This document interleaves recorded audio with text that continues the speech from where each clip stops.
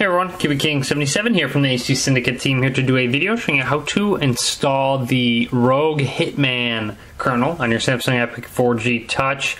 It's a video everyone's requesting because it does have Clockwork Mod Touch baked in. I will be doing a separate review video of Clockwork Mod Touch, but here's a video on how to install the kernel. Uh, generally, it's about it's the same method to install kernels. Um, just make sure, I believe, to my knowledge, it's uh, TouchWiz ROMs only, so CM7 and CM9 don't flash this kernel, so just a heads up there. Anyways, click on the link in the description of the video. Big shout out to Steady Hawkin, very, very good developer for our uh, kernels.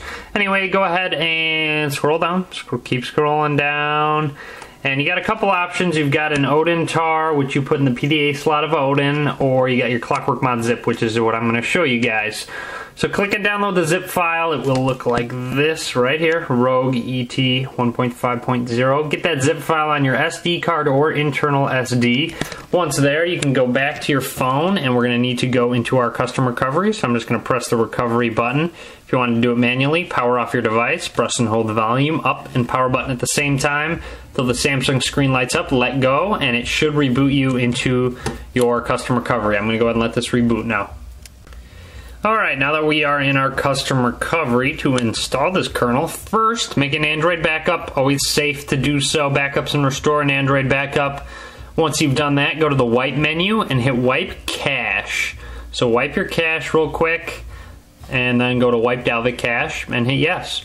Once those two are done, hit go back and hit install zip from file. Choose zip from SD card or internal storage. Select it and then select your uh, your kernel, the Rogue ET 1.5 Hitman kernel, and hit yes. So then I will go ahead and install the Hitman kernel, and as you can see, install complete.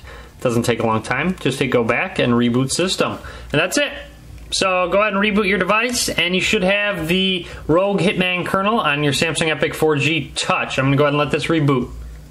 Also, just a heads up, since Cache and Dalvik Cache were wiped, it will take a little bit longer to boot up, so just be patient with the first boot up. Okay, now that my phone has booted up, uh, that's it. You're ready to go. Maybe it changed your uh, kernel. I'm going to go to About Phone, and as you can see, kernel version right there, Rogue ET 1.5.0 plus. So there you have it. You are now on the Rogue Hitman kernel on your Epic 4G Touch. From what I hear, it's very smooth, snappy, battery life's great. Definitely a kernel you're going to want to check out, as well as Clockwork Mod Touch.